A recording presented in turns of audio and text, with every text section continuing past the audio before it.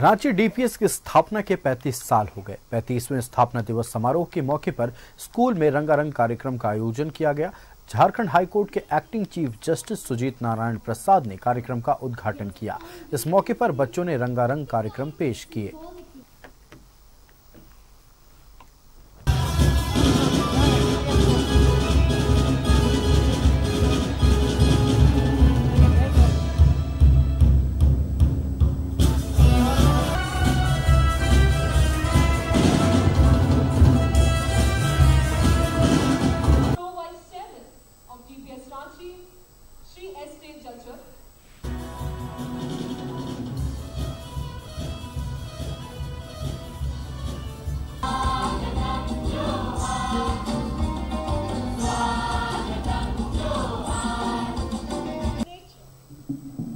The nature rejoices amongst plants.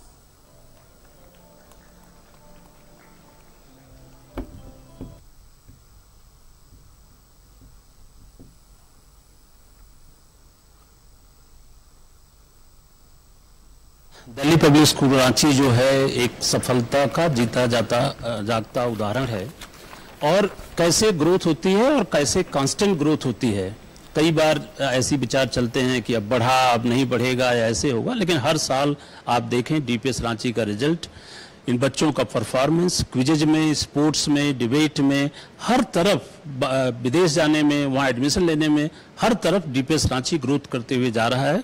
मैं अपने को सौभाग्यशाली मानता हूँ कि इस जर्नी में मुझे भी कुछ करने का, कुछ योगदान करने का मौका मिला, और जितना हो सकता था हमने कोशिश किया। अब साल की बात कर रहे हैं। मैं तो सोचता हूँ कि ये अनंत काल तक अ, समाज की को सेवा देता रहेगा।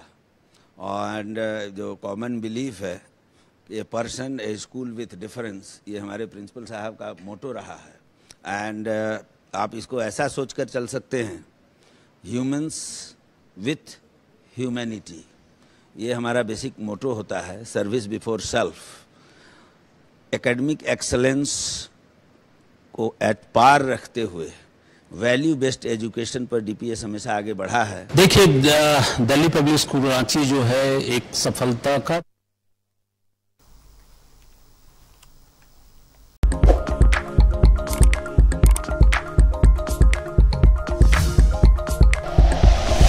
like and share videos, subscribe करें हमारा चैनल और प्रेस करें बेल आइकॉन न्यूज़ 11 भारत. सच है तो दिखेगा।